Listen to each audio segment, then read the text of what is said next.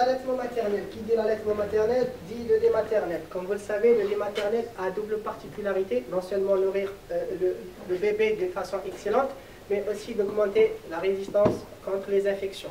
Et même la nourriture artificielle, même avec le développement et la technologie actuelle, ne peut pas remplacer ce lait miraculeux. Et on vient de découvrir, euh, grâce à des recherches scientifiques, qu'il est bénéfique d'allaiter le bébé au moins pendant deux ans, or que cette, euh, cette information a été révélée dans le Coran, dans le verset 14 du Surat Torbel, que son sévrage a lieu à deux ans. Donc, à propos de moi, je me présente. Donc, je suis Amin Sarraj, euh, j'ai 24 ans, donc je suis étudiant en 7e année médecine. J'ai eu mon bac en 2008 et avec mention très bien. Donc, euh, je suis en septième année en fin de cursus et espérons, Inch'Allah, après, d'ici un an, je serai spécialiste en chirurgie cardiaque, en exclusivité pour eux. ok. Ça, c'était à propos de moi, donc vous pouvez la. Et moi, je suis Master Ikhlas, j'ai 23 ans, je suis étudiante maintenant en 6e année médecine. Euh, c'était ma première présentation à l'Institut français et euh, j'étais vraiment ravie d'avoir des spectateurs aussi interactifs. Et bien sûr, c'est grâce à Amine que j'ai eu cette opportunité. Euh, C'était lui qui m'a invité et qui m'a accordé l'honneur de, de, partager cette grande opportunité.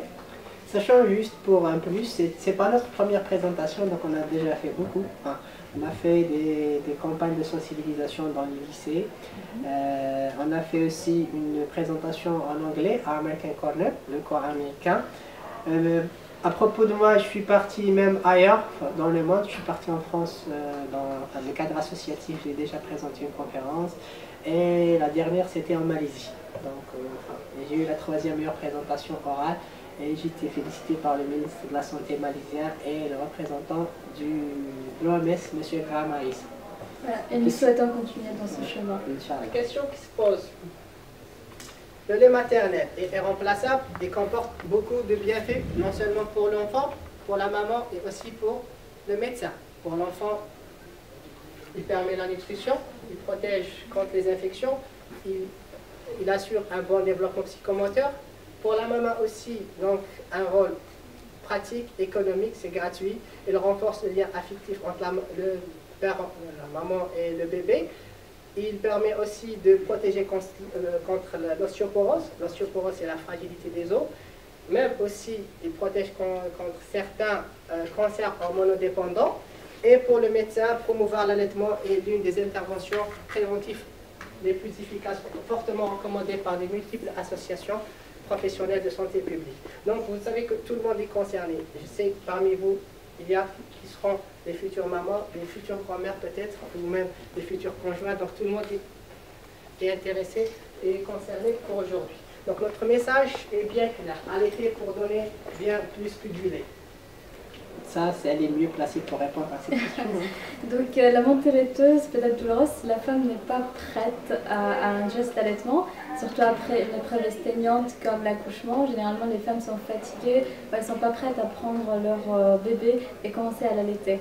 Généralement, si les femmes partent par des processus normaux pendant toute la période de l'accouchement, il n'y a rien qui fait que la montée laiteuse soit très douloureuse. Mais au début, vu qu'il y a un manque d'expérience, surtout le premier bébé, peut y avoir un engorgement de sein si l'allaitement ne commence pas très tôt. Donc il y a toujours des méthodes, il y a des tirets à utiliser, il y a des pommades, il y a beaucoup de choses qui préviennent la douleur. Mais en général, c'est le premier coup qui est un peu difficile. Mais après cela, si la préparation est bonne, tout rentre dans l'ordre. C'est assez approximatif, mais pour répondre à la question, ça dépend du contexte de la femme. Donc chaque mhm. femme, elle est particulière. Vous parlez d'insuffisance lactée, l'insuffisance lactée peut être due à, plusieurs euh, causes, à plusieurs étiologies. Donc je ne peux pas savoir, ça dépend du cas dont vous parlez. Mais il y aura toujours des incidents qu'on ne peut pas les prévoir. Donc c'est une condition médicale qu'on appelle insuffisance lactée et elle peut être primaire, secondaire. Il faut, investiguer, il faut faire des investigations pour, voir l'origine ou bien la cause qui a, qui a donné ça. Donc il faut d'abord consulter son médecin avant de passer au biberon et avant de prévenir son enfant euh, d'un allaitement maternel euh, et au sein. Euh, on va revenir au VIH. Le VIH, si vous savez les moyens de transmission, le lait maternel fait partie intégrante du, moyen de transmission du VIH. Donc, autre que le sang, les, actes sexuellement euh. Euh, tout ce qui est fluide, euh, fluide, corporel, donc, euh, avec bien sûr c'est un pourcentage. Donc les même la, transfusions et le lait maternel. et donc Ouais. euh, même la salive par exemple après 7 litres. Donc tous les fluides organiques peuvent qui- transmettre le peuvent VIH. transmettre le virus, bien sûr avec certains pourcentages. Tout dépend de la charge virale et donc le nombre de virus de- et la durée d'exposition. Exposition. Voilà.